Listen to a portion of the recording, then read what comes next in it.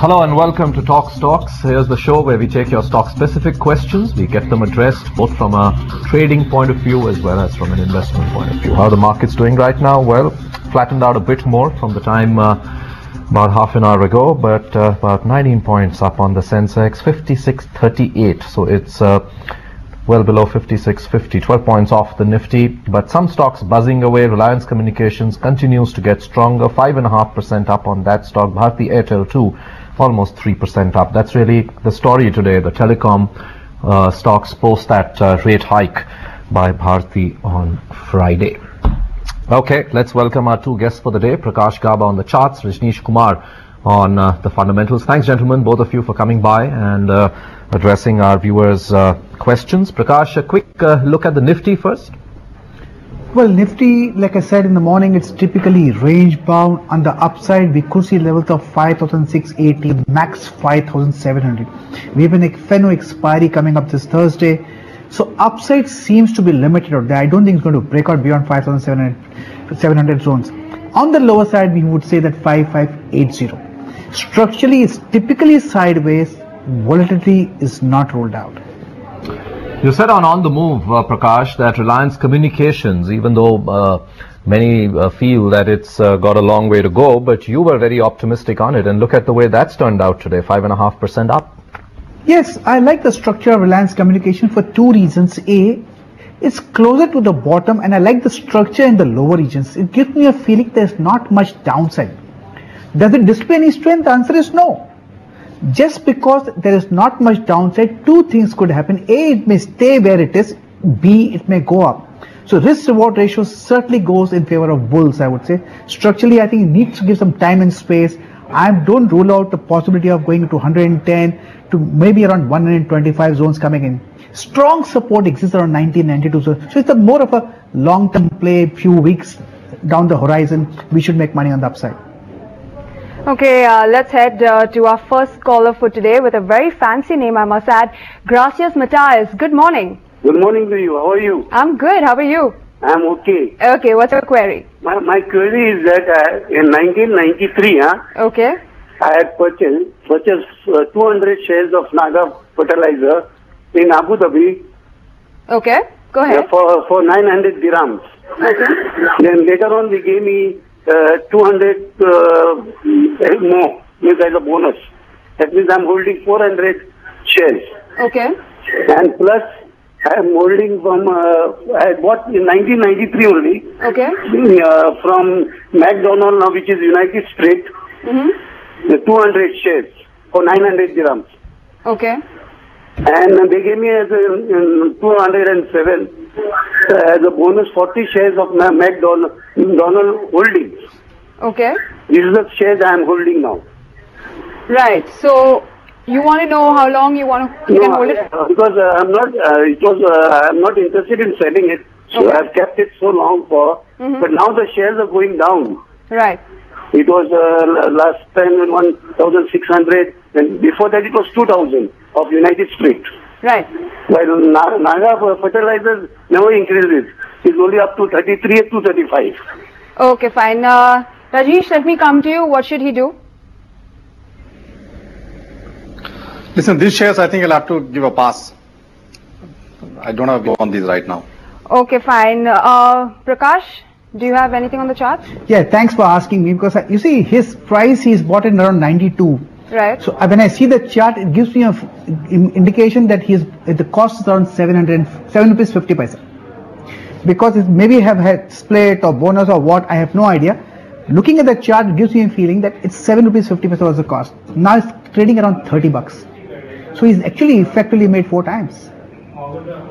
So he should continue holding it. Has a Nagarjuna fertilizer has a stiff resistance around 45 zones. If it crosses there, it can go to around 60 zone. Like he said, he wants to hold it, doesn't want to sell it. No matter what advice you give, he's not going to sell it. So best thing to do is to hold on to Nagarjuna fertilizer.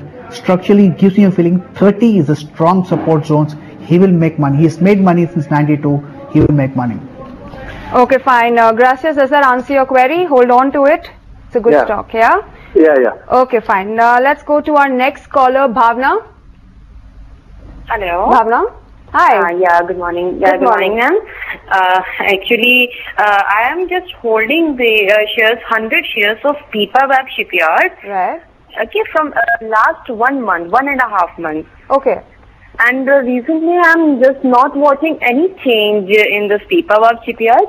Um I have just uh, purchased it at the price of 83 rupees 50 paisa. Okay. Uh, can I ask you the reason behind buying this uh, particular stock? No such reason, nothing. Okay, fine. So, how long do you want to hold it for? Uh, I can hold it for one month more. Okay. Uh, but uh, there is no change. I just want to know whether uh, I must hold it or I should sell it. I just don't. I don't know. Hi, Bhavna, Vivek here. It's very Yeah. dangerous when you buy a stock and you have no reason to buy it. Hmm? Uh, Somebody yeah. advised you, or you going with some tip or something?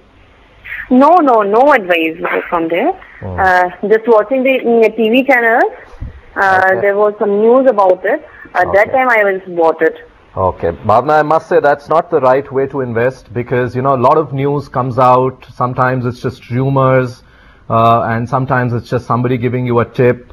Either you research well yourself, or you take somebody's uh, advice, uh, some broker, whoever you are going to, and only then you should invest. Okay, Bhavna. All right. Yeah, so thank but you. right now on uh, both on your stock on Pipavav, we'll get both our experts to tell you what you really should be doing. Uh, Prakash, you first. Well, I must first disclose that I own Pipavav Shipyard. Okay. B. Structurally, it gives me a structure is suggested that there is no sign of strength, but the downside seems to be limited. At worst, the downside could be somewhere around 70. And on the upside, we could see an up move going up to 85, 88 zones. But once it crosses 85, 88 zone, Pipavav shipyard could go to levels around 105. But that will take its own sweet time. I must disclose that I bought it for a slightly longer term horizon. Which would be? Around 100, 105 is my target zone. Okay. All right. Let's get to Rajneesh. Rajneesh, would you have a view on this one? Yeah, Pipavav Shipyard is uh, essentially a good stock uh, if you look at from a fundamental point of view. But you know, uh, as you rightly pointed out, buying a share for a month's horizon probably uh, doesn't make sense. So if uh, she's ready to hold on to the stock for, I would say, maybe about a year, then I would recommend holding on to it. It could probably give a return of maybe 15 to 20 percent uh, from these levels in about a year's time. Uh, but uh, I would uh, say that you know one should not look at much movement from this stock within a month or so. That, that that's uh, what my recommendation would be. All right. Okay. Bhavna, did you get those two views?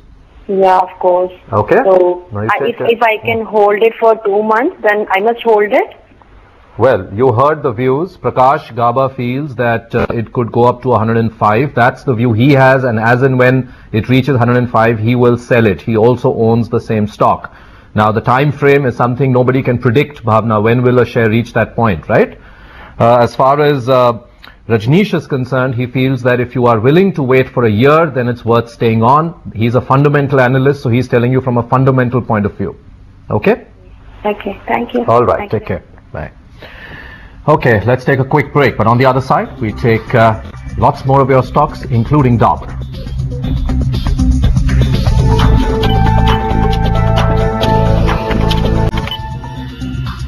Welcome back. You're watching Talk Stocks. Markets are still in the green.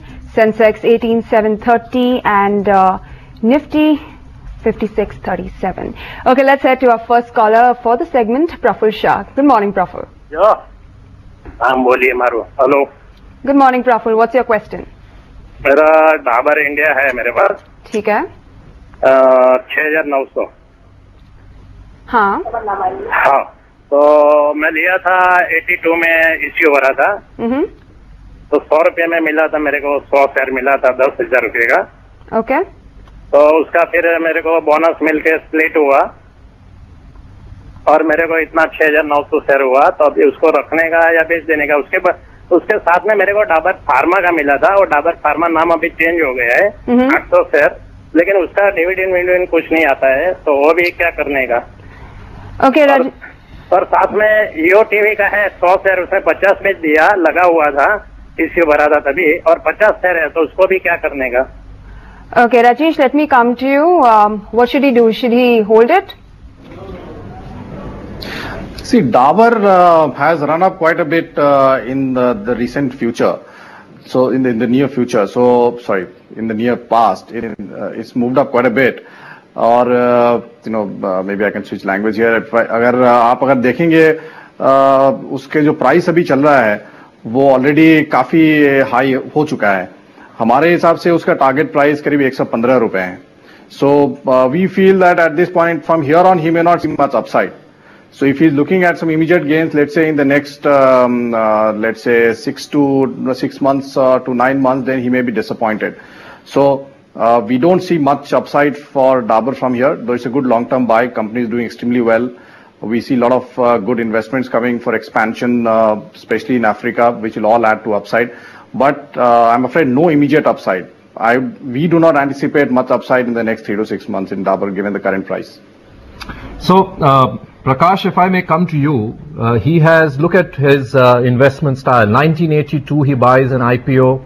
Uh, he's sat with that stock for these years, almost 70, 700 odd times increase uh, in the number of uh, shares and the value. A classic case of a long-term investor staying put.